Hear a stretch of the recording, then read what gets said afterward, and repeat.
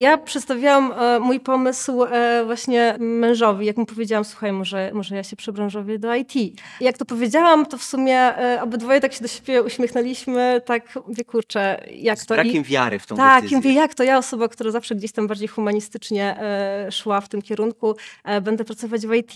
Nie jest to łatwe, e, mówię, że to nie jest łatwe, ale jest tego, ale jest tego warte, tak? Przynajmniej no, ja mam taką opinię.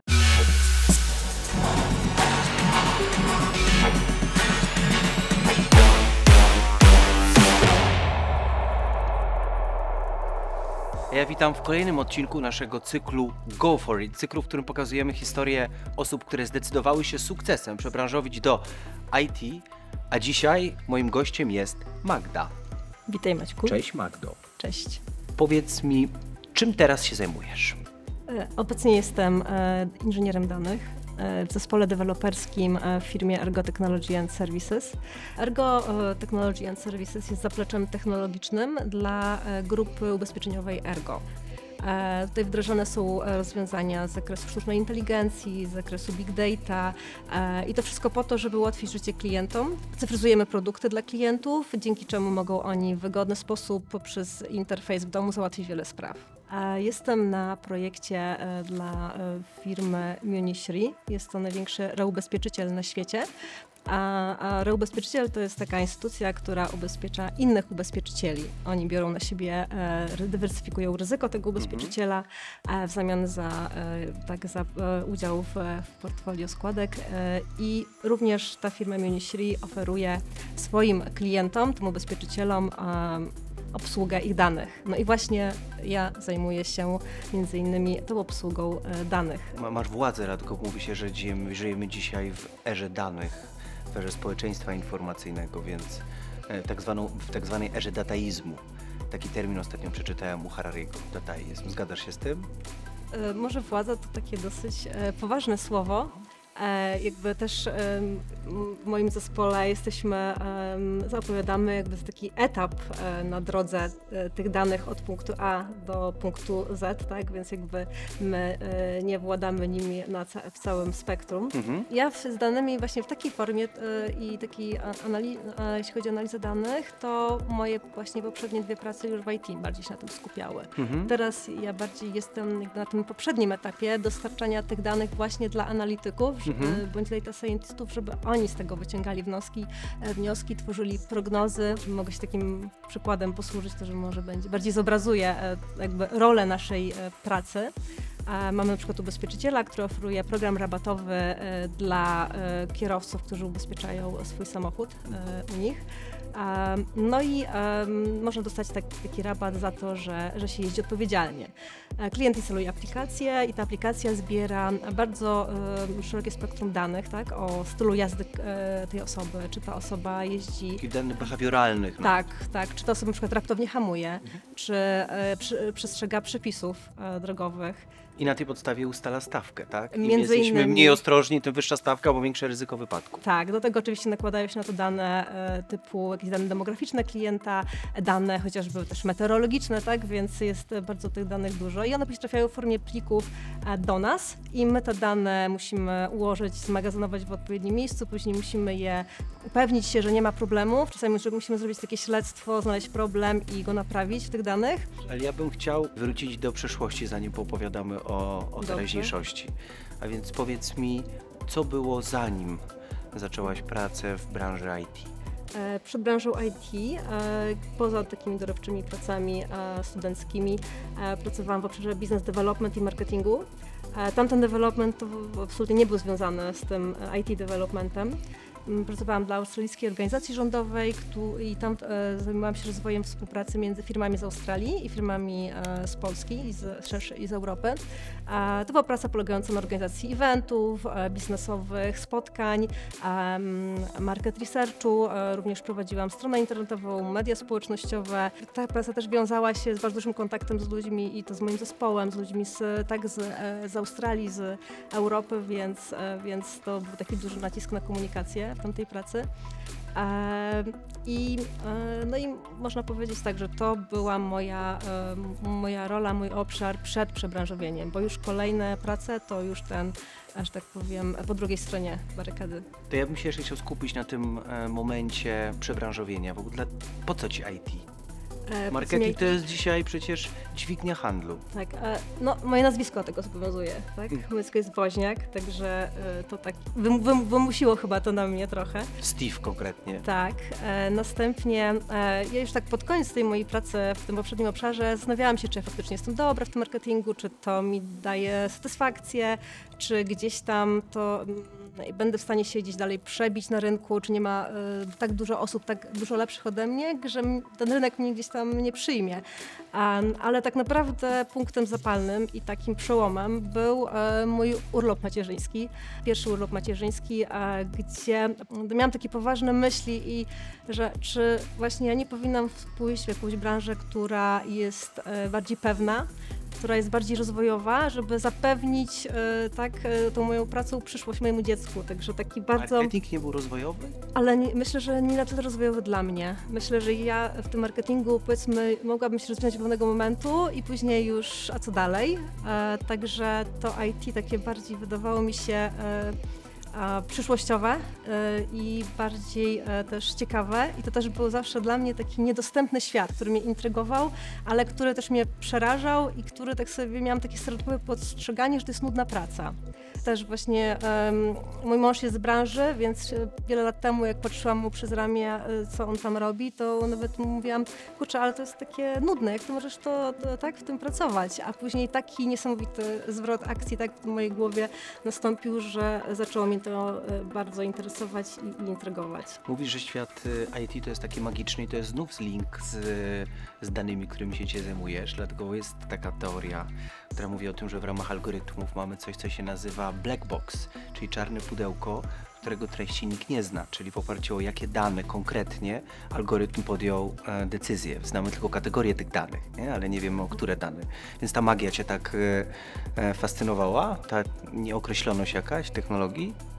E, Wiesz co, bardziej e, myślę, że e, fascynowało mnie to, że to jest taki świat, gdzie jest dużo narzędzi, dużo skomplikowanych narzędzi, Mhm. trzeba to umieć ze sobą połączyć, trzeba dotrzeć do sedna, jak to wszystko działa pod spodem, żeby, żeby z tego tak coś, coś fajnego stworzyć.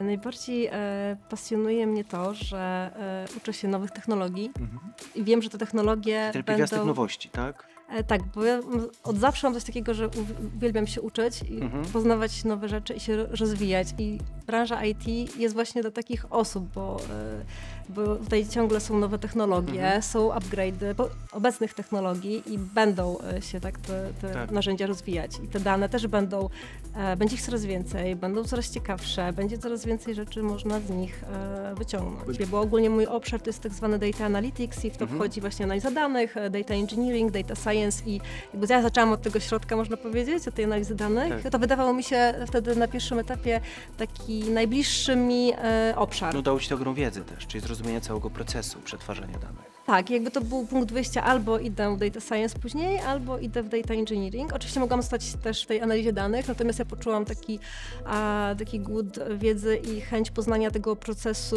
szerzej tego całego procesu.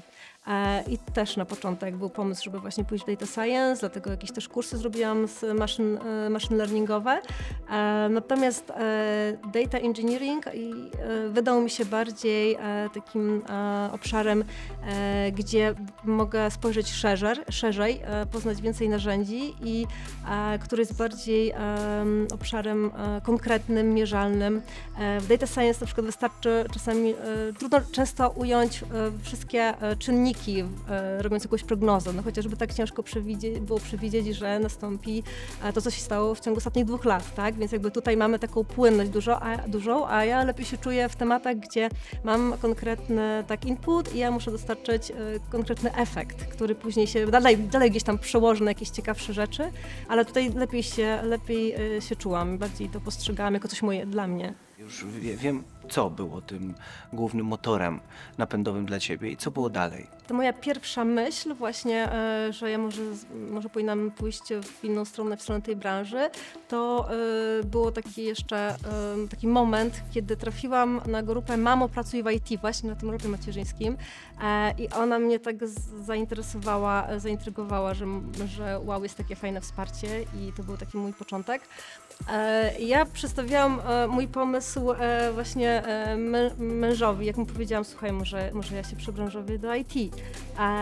Jak to powiedziałam, to w sumie e, obydwoje tak się do siebie uśmiechnęliśmy, tak, wie kurczę, jak Z to... brakiem wiary w tą tak, decyzję. Tak, jak to ja, osoba, która zawsze gdzieś tam bardziej humanistycznie e, szła w tym kierunku, e, będę pracować w IT.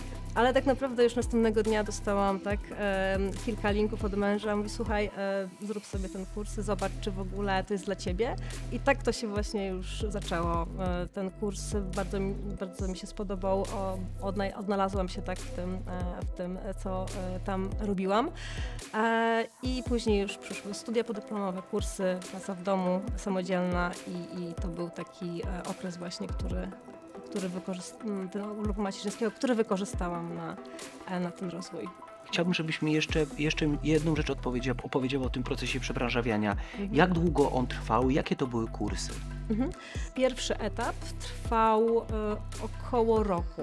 Mhm. I to właśnie e, poza, poza tym pierwszym takim kursem języka 4GL a, był kurs, później były studia podyplomowe, trwały rok, to był tryb weekendowy. E, w weekendy właśnie byłam na studiach, a później w ciągu tygodnia e, robiłam moja praca własna w domu. Tak to wyglądało. Później, e, później w zasadzie po roku zaczęłam szukać pracy. Ja szukałam na, na portalach typowo pracowniczych. Zrobiłam tak selekcję, selekcję CV, tak, bo też się wiadomo, mnóstwo ról w IT, mnóstwo skilli jest potrzebnych i też e, no, na tej podstawie musiałam zrobić selekcję i to też no, była na początku taka duża selekcja, bo tych skilli na początek wiadomo zawsze było mniej.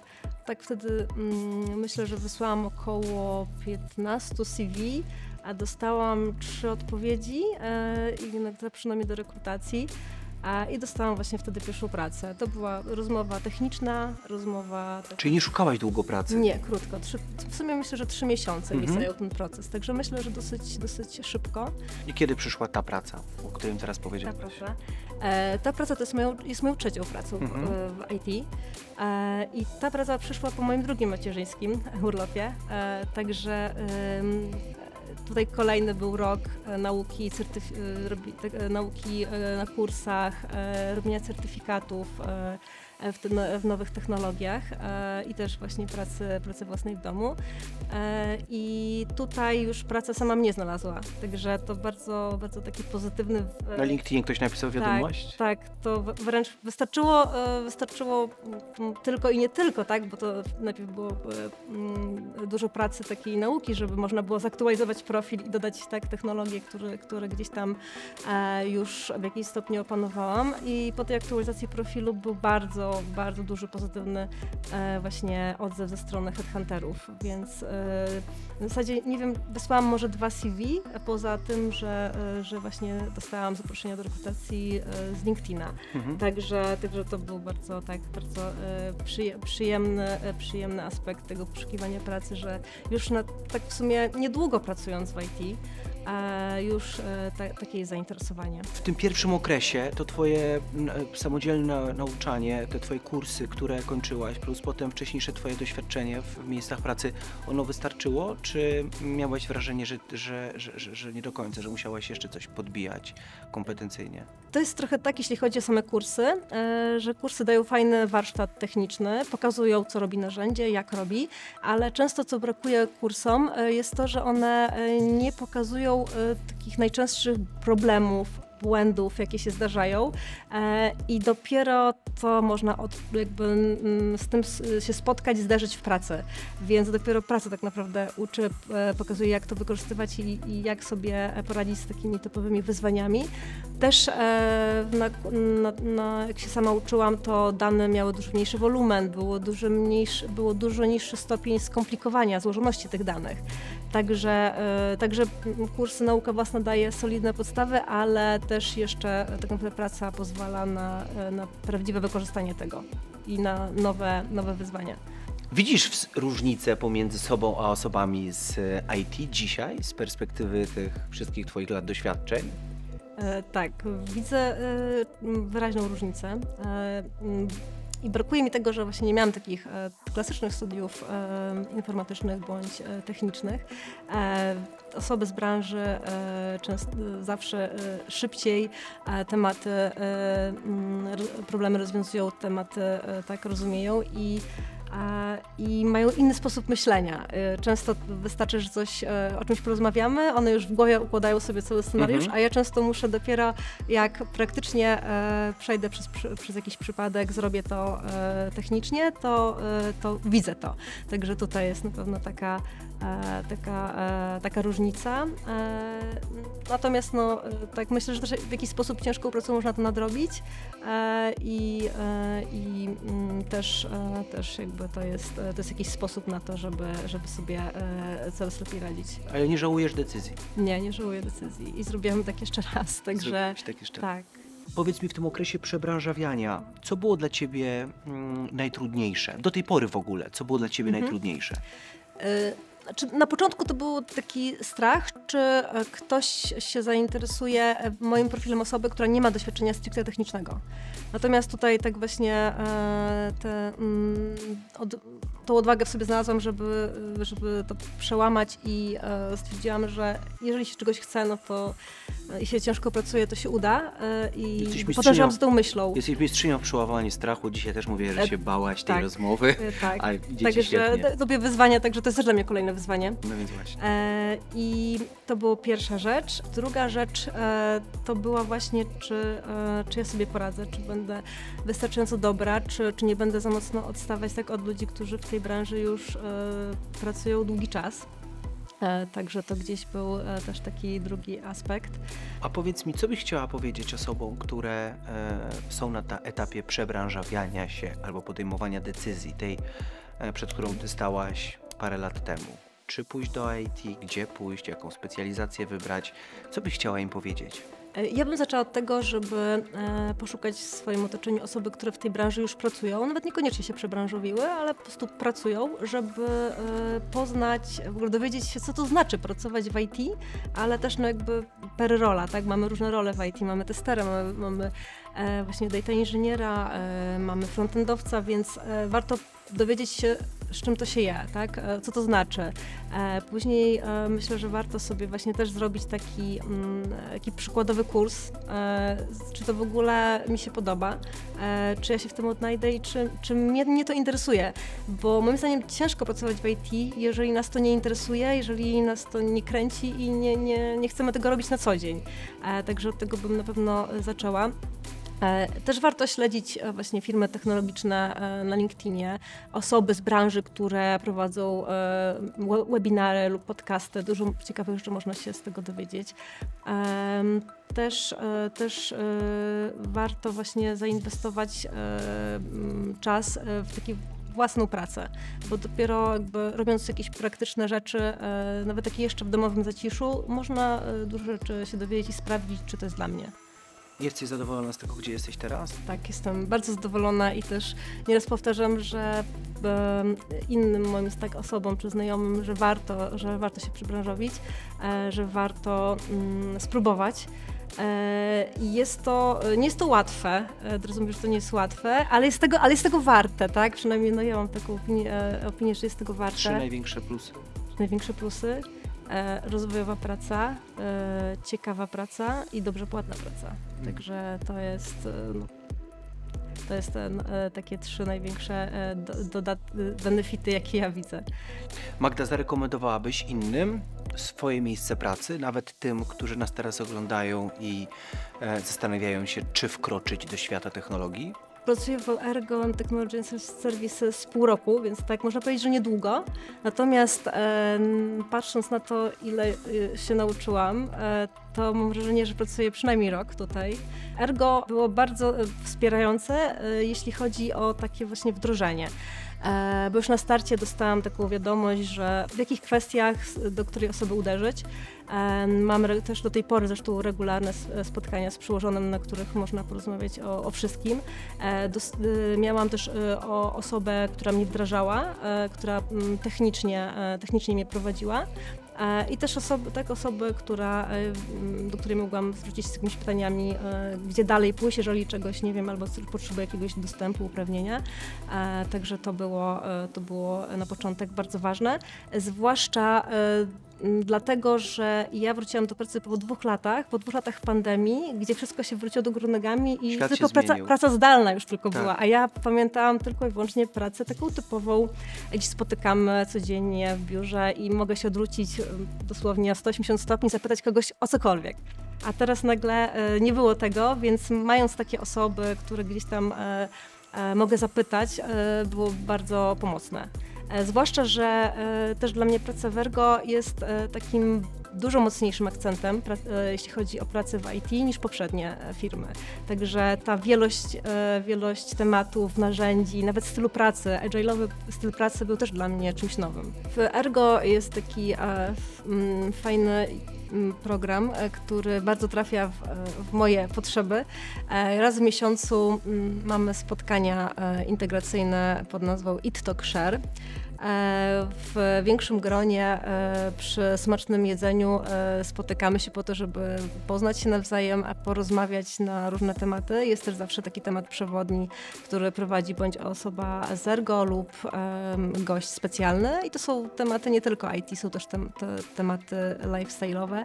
I to jest właśnie, um, to są eventy, które przyciągają bardzo dużo, dużo, ludzi do biura, a tak jak wspominałam, no, mm, e, mi brakuje takich właśnie kontaktów typowych. To ta twoja dusza humanisty Biurowych, tak, właśnie, tak, dokładnie. I, ja też e, tak. i wtedy, i wtedy tak e, także no, rozumiemy się. I wtedy um, to są bardzo fajne okazje, żeby nadrobić takie, ta, taki ten czas, którego e, no, nie ma już teraz na co dzień. Ja sobie też bardzo cenię elastyczność pracy tutaj, a zwłaszcza e, łączenie tego z macierzyństwem e, bardzo, bardzo mi pomaga. Jakieś programy stażowe dla ludzi takich, którzy chcą dotknąć tego, tej pracy, ale jeszcze nie są pewni, czy na 100%?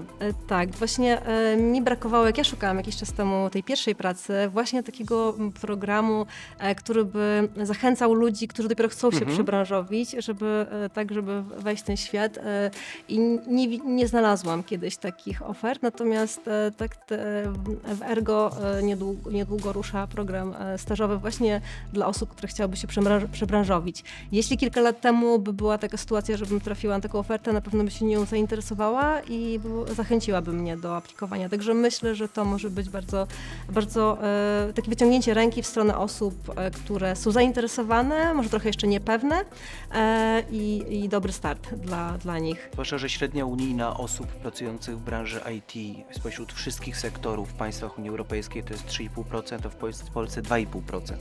Więc cały czas nam brakuje i, i ten sektor będzie potrzebował specjalistów.